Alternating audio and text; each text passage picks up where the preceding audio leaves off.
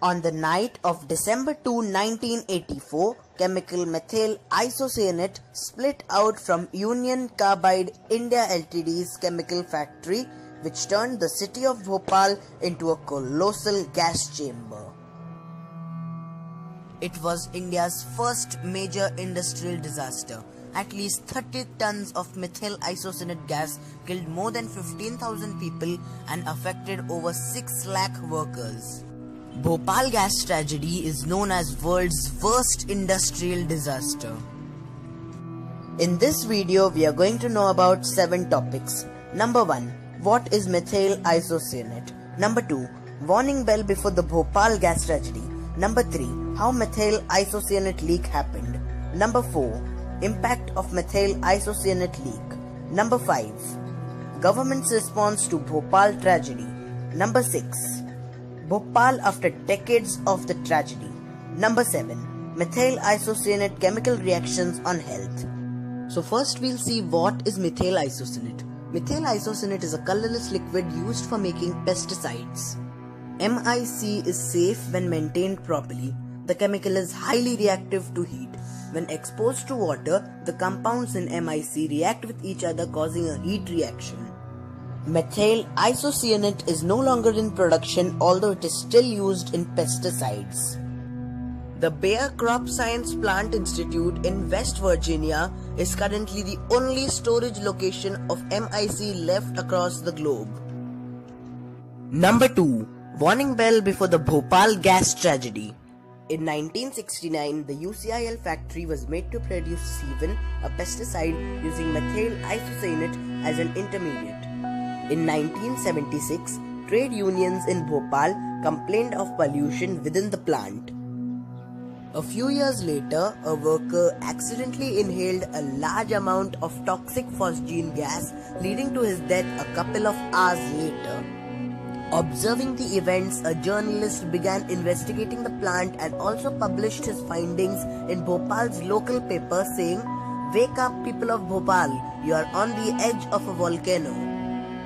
Two years before the tragedy struck Bhopal, around 45 workers who were exposed to phosgene were admitted to a hospital.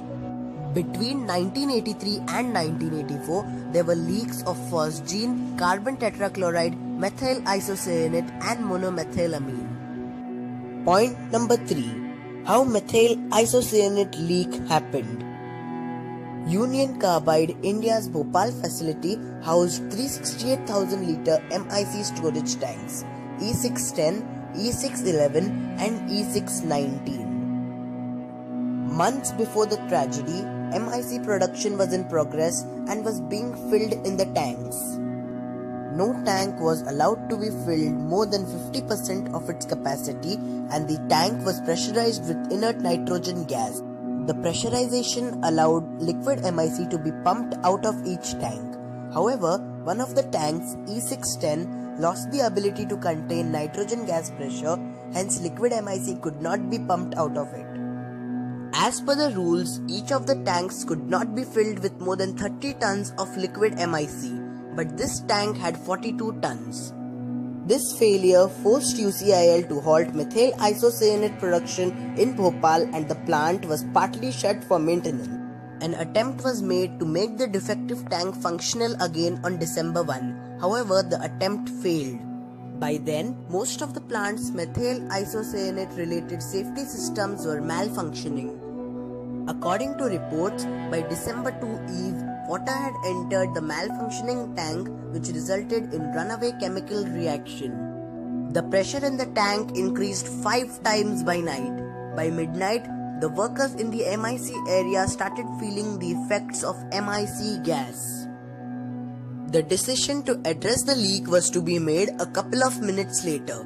However, by then, the chemical reaction in the tank had reached a critical state about 30 tons of MIC escaped from the tank into the atmosphere within an hour. Most Bhopal residents were made aware of the gas leak by exposure to the gas itself.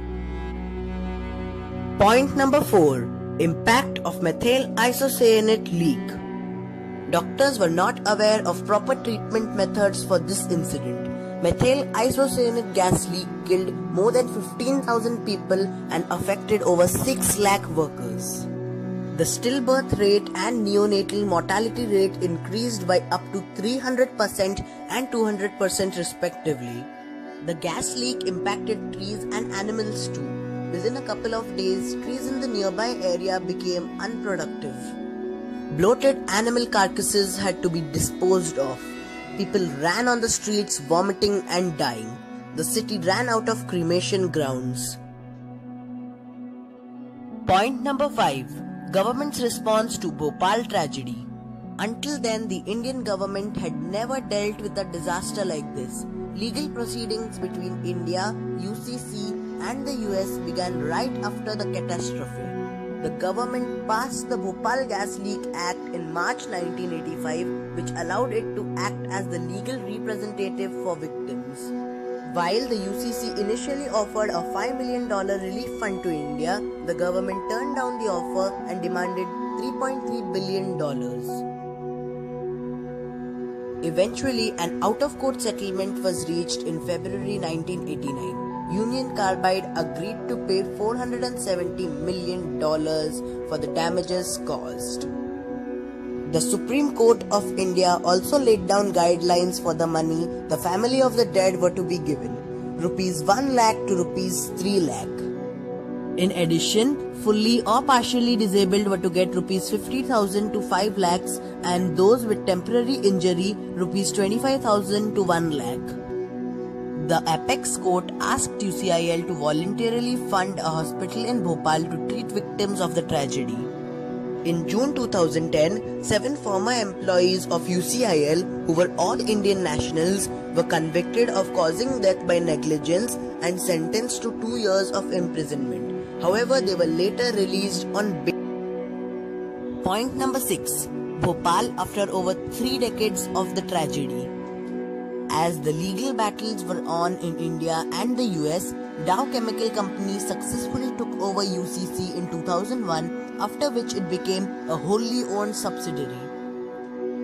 Thereafter, Dow claimed that UCC did not have any responsibility towards the tragedy as it was legally a new company with new ownership. Ingrid Eckerman in her book The Bhopal Saga recalls what a victim told her. Death would have been a great relief. It's worse to be a survivor. More than 30 years later, there is no closure in the case. Thousands of survivors of the Bhopal gas tragedy continue to face a lack of healthcare facilities. After the factory was closed, whatever remained inside was sealed and kept there. Gas victims' welfare organizations have been demanding its removal for years. Many petitions have been lying in the High Court and the SC for removal of the plant's poisonous remains. Point number 7 Methyl isocyanate chemical reactions impact on health. Immediate health effects include ulcers, photophobia, respiratory issues, anorexia, persistent abdominal pain, genetic issue, neurosis, impaired audio and visual memory, impaired reasoning ability, and a lot more. Long term health effects include chronic conjunctivitis, decreased lung function, increased chromosomal abnormalities, impaired associate learning, and more. Thank you so much for watching this video till the end. If you want to know about the bombings of Hiroshima and Nagasaki, you can watch the video on the left of your screen. Once again, thank you for watching this video.